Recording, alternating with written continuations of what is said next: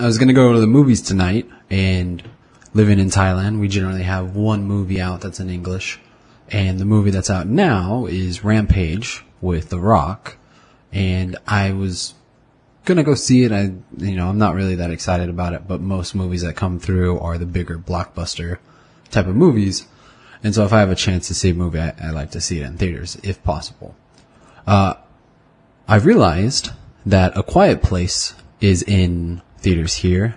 I overlooked it because it said it was in Thai language. And then I heard that there's no dialogue. So I'm about to go see, I think, The Quiet Place.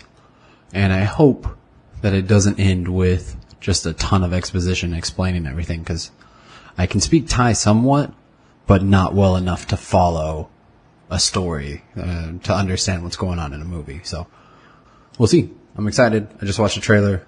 Looks looks pretty good. Uh, I really, really hope that it's not just like jump scares. Like I want it to be suspenseful, not startling, because that's that's kind of boring when it's just a loud noise and a shocking visual. That's not scary. You feel scared because you're startled, but it's a trick. It's not. Uh, it's not actually scary. So. I don't know. Hopefully it's good. I just got back from seeing uh, Quiet Place, and I thought it was great. Uh, I thought it was really engaging. I think the use of, well, I guess the lack of dialogue really sucks you into the story. So just a heads up, my theory is if the movie's title is in the title of the video or the podcast or anything like that, I'm going to just talk about the movie. I'm not going to worry about spoilers or spoiler alerts. So this is that, but I probably won't go through this every time. Uh, this movie opens up with the family and they are uh, looking for supplies and they have three kids. And I thought it was brilliant the way they opened it because the youngest kid, he finds a spaceship and he really likes it, but it's got batteries in it. and they, they kind of panic because they, they're trying to not make any noise. And if you've seen the trailer before you see the movie, you know that you can't make a sound. So I went into it having seen the trailer and having some idea of the concept. So this wasn't confusing, but I could see how if you went into it without knowing it could be. But anyway, so the boy wants to play with this spaceship. They keep stopping him. They take out the batteries. The boy sneaks the batteries back into the spaceship as they're walking out.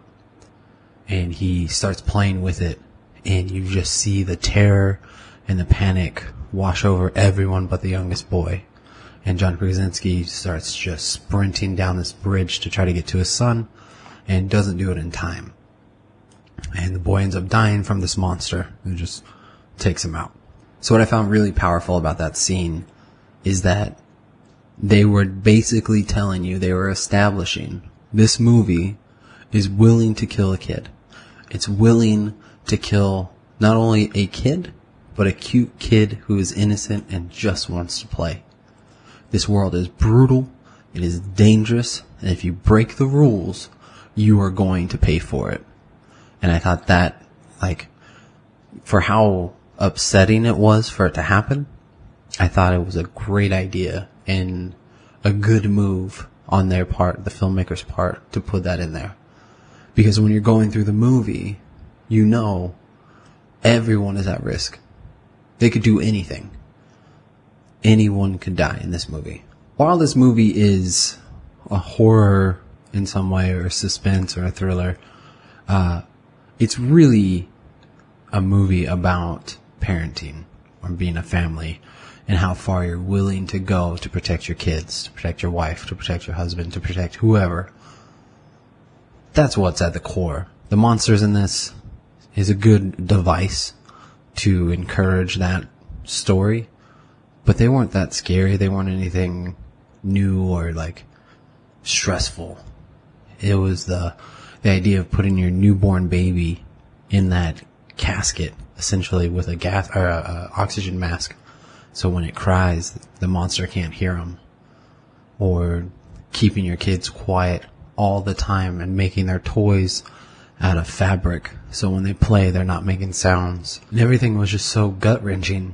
Uh, being a, a, father myself, I was like, man, I would, I would do anything to protect my kids. Like everything seems legitimate. Everything makes sense in this movie.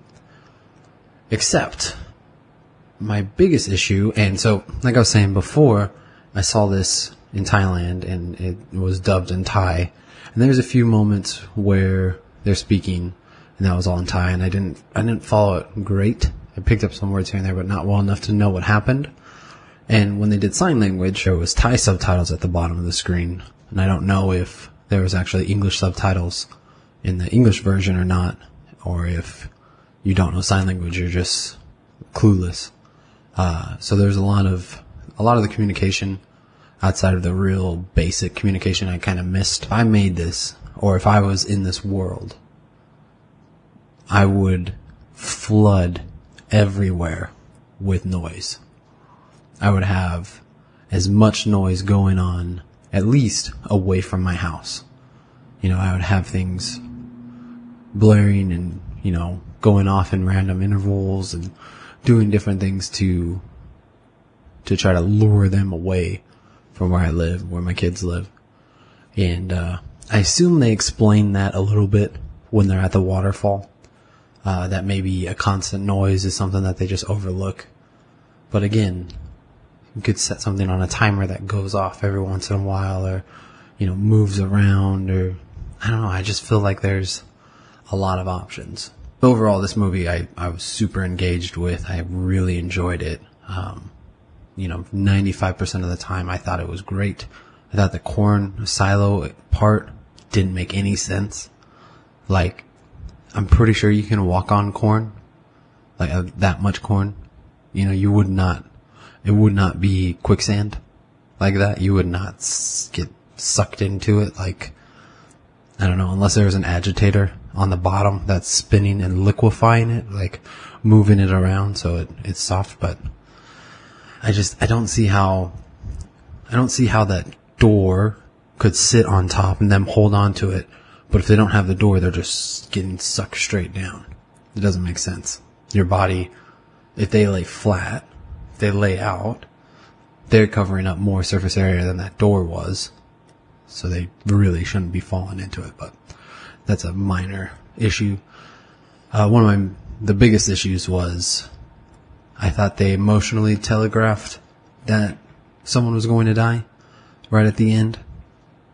I expected it to be Emily Blunt who ended up dying when she's watching um, John Krasinski and the two kids meet back up right before that last fight. I was like, oh, she's she's going to die. They're, the tone that they're setting right now is telegraphing that someone is about to die. Everything's too peaceful in this moment. Turned out to be John Krasinski. He died, and uh, he talked to his daughter in sign language before he sacrificed himself, which I thought was pretty dumb because there's a monster attacking his kids, and he like took a moment, like way too long, to say like, you know, I love you and I'll keep you safe, something something along those lines. And then the very end, I felt was kind of cheesy with her pumping the shotgun and them getting ready to fight. That felt, uh, I don't know, I, I kind of crossed the line, uh, into the ridiculous at that point.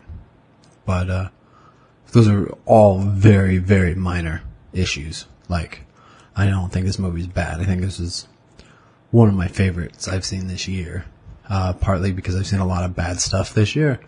But again, this movie is a lot of fun.